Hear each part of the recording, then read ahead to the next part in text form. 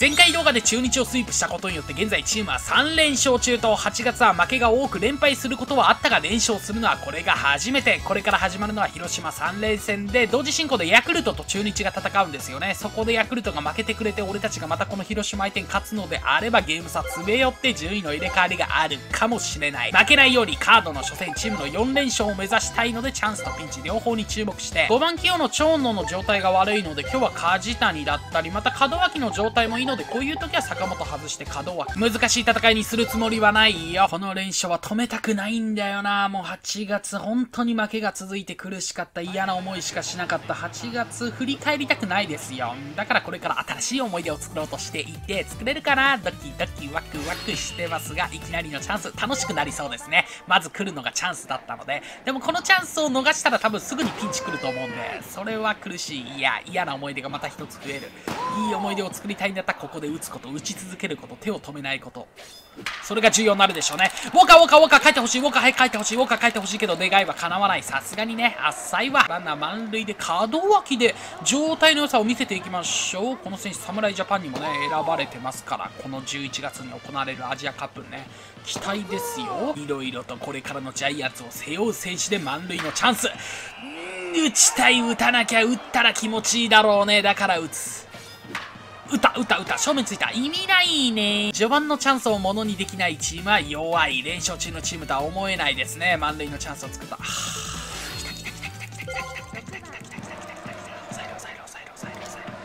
と言いつつまあ言っては仕方がないでしょうねうん抑えるのはパルパルパルパルパルパル中村翔成選手としてちゃんとやっとるからねいろいろやっても許される成績ですわなこれであれば落としてああ三振はない。いや選球眼もある中村ですか？トゥシム打たせてファールで。いや欲しいな月なんですよね。今は。これ月シフトをしておきましょう。それで2つのアウトを奪うことが理想。三振奪えたらそれはいいですけどね。ちょっと奪いそうないだろこれ。どうしようスライダー。あったー！ゲツがなくなったでカウントフルカウント。1つ取ろう1つ取ろう。まず1つ取ろう。アウトコースの球。ツーシムうまく引っ掛けさせて、よかったランナーの動きもなく1つアウト。なんならあと2つをね、与えることなくいけたらね、それってきっと幸せでいい思い出になるね。どう？いける？やれる？やる？うん、やる。全身締めで。防げるのであれば防ぎたい。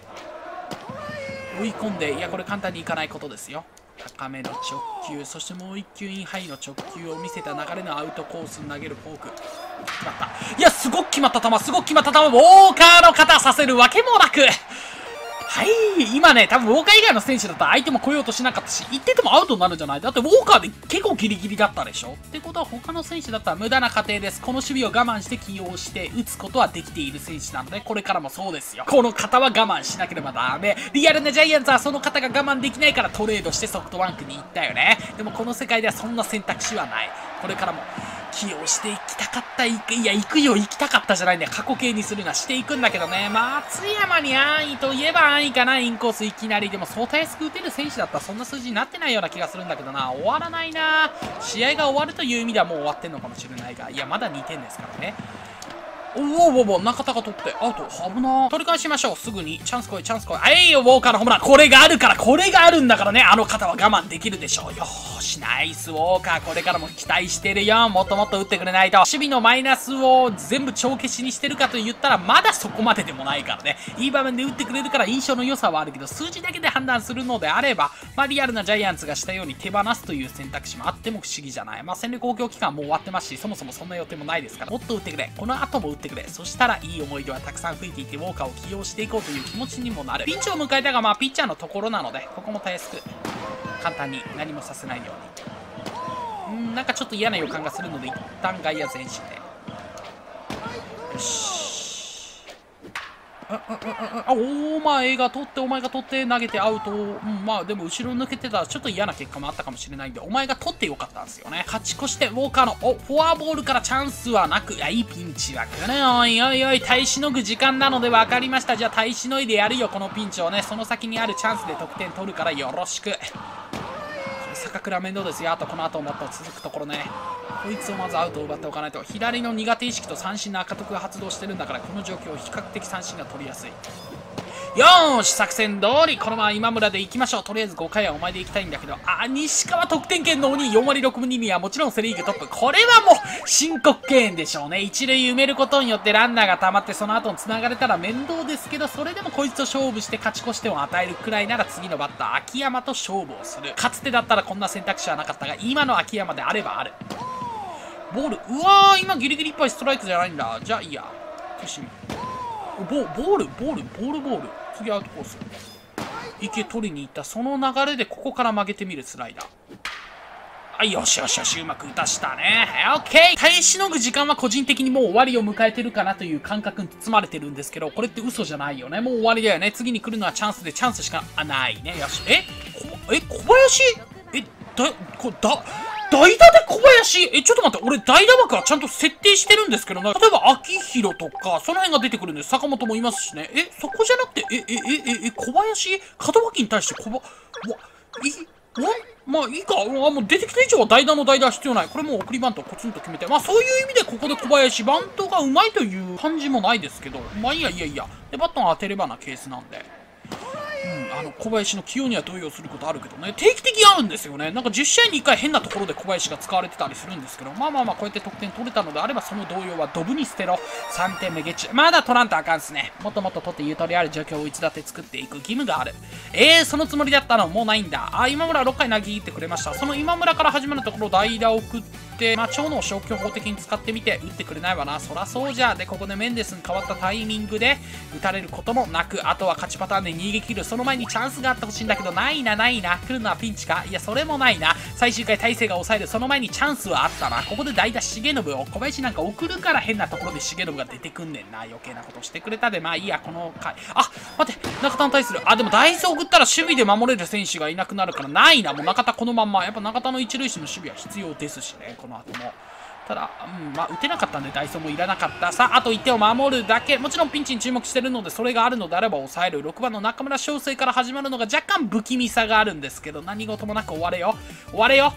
終わったゲームセットでカードの初戦を取ったの4連勝さあ、どこまでこの連勝を伸ばすことができるのかどうか。今季の最多連勝って多分ジャイアンツの場合5とか6だったと思うんですよね。まあ、後ほどまた細かく確認していこうと思いますが、それはまずは更新したい。終わってみたらやっぱウォーカーのね、14号目のホームランっていうのは大きな一発になったし、だからこれからも起用していくあの方を我慢して、同時進行でヤクルトが負けてついに1ゲームさ、ヤクルトに追い抜かれて1月2月と流れましたけど、今この瞬間追いつけそうですよ。いけるいけるいける。やれるやれるやれる。その流れで今村の対左 E が消えて D になりました。つまりは苦手意識なくなった。そもそも左ピッチャーのお前が左バッターを苦にするなバカタレ。もともとついてることがおかしいけどでも苦手意識がなくなったことはいいことであってさらにいいピッチングをしてくれるんじゃないですか。そこに期待ですよ。お前以外の選手も何か特殊能力がつくだ能力が上がるだ。この先期待しているものはたくさんあるからな。あとノリノリになるだね。そういうこともないんだよな。全くないんだよ。一切ないんだよな。いつかあるんでしょうねきっと。ちなみに今季のジャイアンツの最多連勝記録を見ていくと、やはり5ですね。次も同じことが起これば順位の入れ替えがある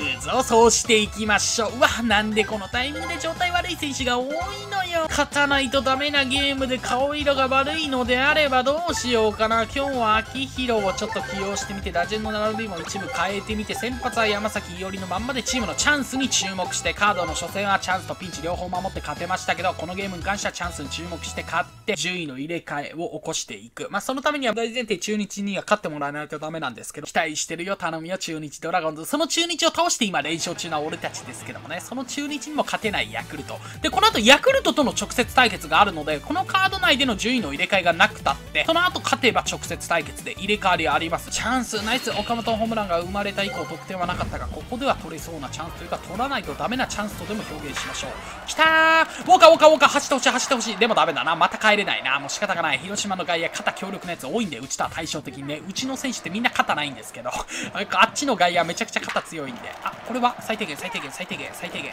人は最低限の積み重ねで得点を取って、そこのゲームを勝っていくことになると思うんで、2点目ゲッチュス。その流れで中田翔の一発とか生まれたら最高で、地元で打つホームランきっと気持ちいいでしょうね。ここまで数字もさほど良くはない。ホームラン打ってくれてる分戦力ではあるんだけど、打率も高かったらよりもっとチームが強かったんだな。少なくともヤクルトとのゲーム差、1ゲーム差で追いかける立場にはいなかったんだなとは思いますが、ここで打ってくれたら何でもいいよ。打てたらあの後ろに飛ばす地元でファールフライ打つやつって最悪。この後も山崎伊織には守ってもらいましょうか。ああああやる？やらないね。OKOKOK やってくれんじゃないよあなた。よく与えがちですけどね。こういう1点差。もう特にうちのチーム1点差っていうのはよーく打たれるんですよ。だから腹立つ。すごく腹立つ。嫌な思い出しかないですが、うん、だから1点差という状況を極力作らないことですよね。こういう展開を作るから打たれるわけであって。ここで打てばそういう展開がなくなる。そういう世界を作ることもできる。秋広のバットでやれるか。できなかった。ということで気持ち切り替えて、ピンチに注目することはない。危ないね、今、山崎より。もういいかな。今ここでの代打は誰にするかと言われたら、ちょっと梶谷切るの早いな。状態悪いんですけど、蝶野久吉なんかやってくれるかもしれん。何もやってくれへんわな。メンデスに勝ったタイミングで抑えてくれました。オーケーオーケー、守れてますよ、守れてますよ。連勝中のチームって感じ。やっぱ連勝中のチームってこういうの守れるんですよ。だから勝てるんですよ。止まらないんですよ。で、岡本も打ってるんですよ。いや、もうあからさまやね。岡本が打つようになってからチームが上向いてきたもんね。この連勝も続いてるもん。その岡本の打つことがなかったから8月負けることが多かったんだけど、分かりやすいなやっぱチームの軸となる選手が打つ、また投げて抑える。それが分かりやすくあればチーム全体が乗ってくるんですね。え、ここで打てなきゃ意味がない。え、月月月。いや、月ちゃう。わー、もう少し岡本の足が速ければオールセーフだったのに、足が遅いから仕方がない。はい、でも坂本で打って、追加点ゲッチュ。もう一回行こう、もう一回行こう、もう一回行ってみよう、もう一回行ってみよう。ノリで行ってみた。ノリで行ってみたけど、ノリで行けるんです。世の中ノリで行く方が案外良かったりもしますからね。4点目ゲッチュ。まあ、足自体は速い選手なので、行くことに驚きはないが、オーケーです。この1点差じゃなくなった展開であれば、問題は何も起こらないというか、何も起こしてはいけないというか、何も起こるなよ。起こっていいわけがないだろうと言わせんな、これ以上。言葉はいらん。まだ打つ。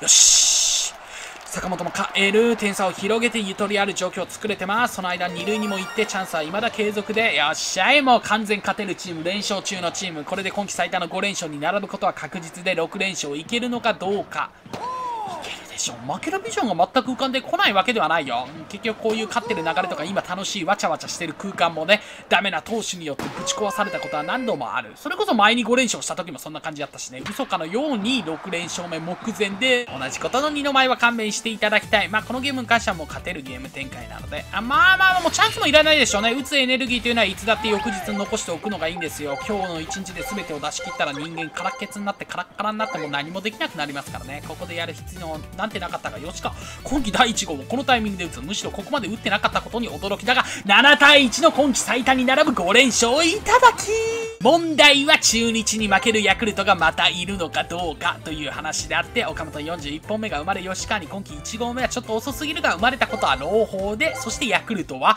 やっぱ負けてるんですね そしてそれにもよって1位返り咲き、もちろんまだ並んでる状況なので、次戦の結果次第では再びということにもなるかもしれないが、取り戻したよ、本来座るべき席をね、ここからここからこの席からまずはヤクルトを蹴落としていく。まだ奪ったわけじゃない。2人揃って座ってる状態なんでね、お前が下へ落ちろ、お前が地べたに座れ、俺がこの椅子を手に入れる。連勝も6連勝まで伸ばす。えー、丸のパーがこのタイミングで衰える。むしろ上がるんじゃない？今季めちゃくちゃいい数字残しとんのよ。相変わらず打率はリーグトップの3割3分3厘で、まあこれでも貯金結構落としてる方なんですけど、今まで打ってる分もあるから高いし、ホームランもすでに20本で打点も66打点 OPS で見たってこれ村上に次ぐリーグ2番目ですよ。そんな選手が能力の衰えがあるっておかしくないいや、本来年齢を考えたら衰えるべきなんですよね。でもここに来て全盛期な姿を迎えてる丸であれば、そこはさ、逆に下がるんじゃなくて上がる的なイベント期待してたんだけど、そういうことはなく、ここまであったのは全て衰えるイベント。まあ、一つ衰えたくらいじゃそこまでの影響がないわけですから、これからも変わらず打ってくれる丸がいて、もちろん一番器用で、状態の悪さとか疲労もあるので、起用はちょっと考えた方がいいかもしれないですけど、今日も起用して勝つ流れを崩してたくはないでしょう。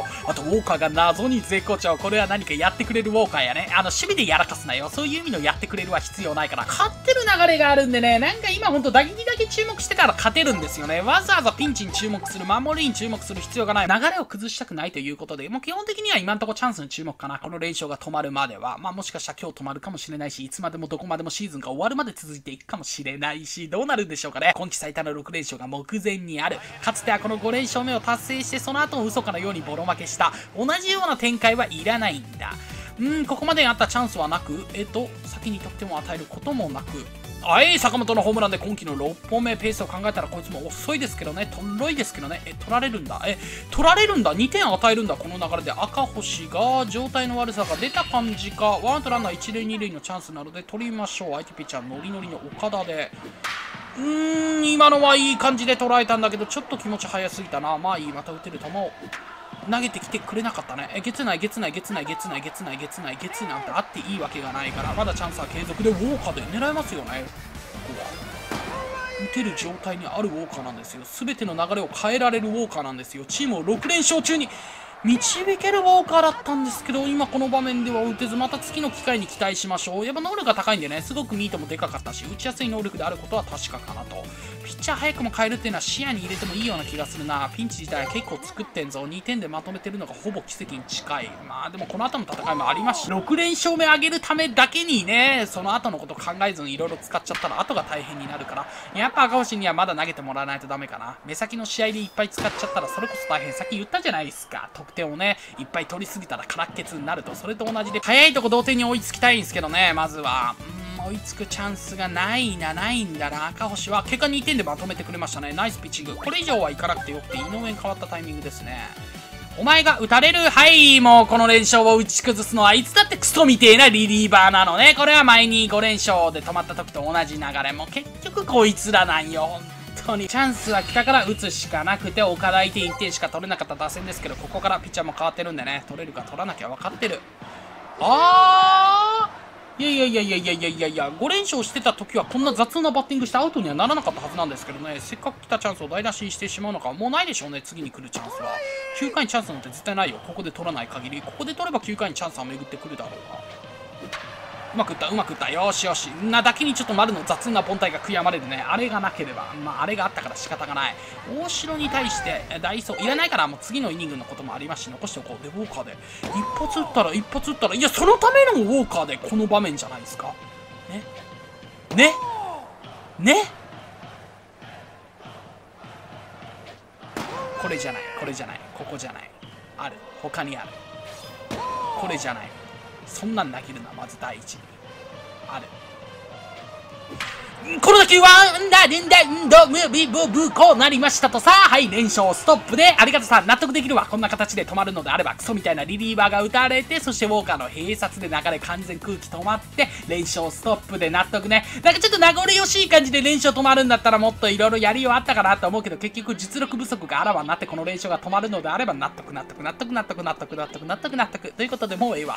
もう負けた気でいるんでね、連勝止まった気でいるんで、ほら、ほら、ほら、嘘かのように失点を許してくれる。それでも最後のチャンスを作る理由必要はないけど、来たのであれば一応やっとくわ。もう負けた気でいるよ。あの場面で閉殺だもんね。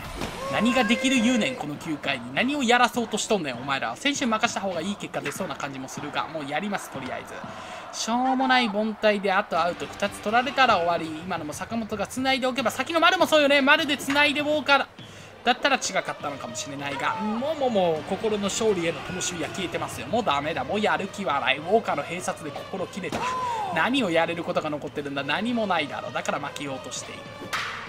ん？打った打球に関しても、アウトで連勝ストップで、でも納得できる敗北なんでね、やっぱ弱さが全面的に出ましたよ。大事な場面で打たれまくってくれるリリーバー、そこを抑えておけば何かこの後作れた展開があったんだけど、いつも通り打たれるやつ。そしてあのチャンスで回ってきて、ウォーカーで併殺を記録した。もう終わりだよね。そして同時進行でヤクルトは勝ってるんですね。ということで、また2位に転落。ここで勝っていれば1位の座で終われたんですけどね、1ゲーム差で追いかける立場。でも1ゲーム差にしてこれから直接対決を迎えることになる。しかしだね、連勝が止まったその流れでのヤクルト戦、首位攻防戦ということを考えたら、いろいろと不安な未来しか見えません。ヤクルトからしたらこのカードっていうのは絶対に勝って首位を守らないとダメだし、俺たちから言わせると、ここで追い抜かないとこの先チャンスがあるかと言われたら微妙。ここでね、ほぼ優勝が決まると言っても過言ではないかもしれない。それだけ重要で重大で大事な戦いが次回の動画で始まり、それをお届けしていくことになります。クソみたいな連勝の止め方ではあったんですけども、ここから気持ち切り替えて首位攻防戦で勝って連勝劇なのか、それとも連敗劇が始まっていくのかどうか興味があれば次回見てよ。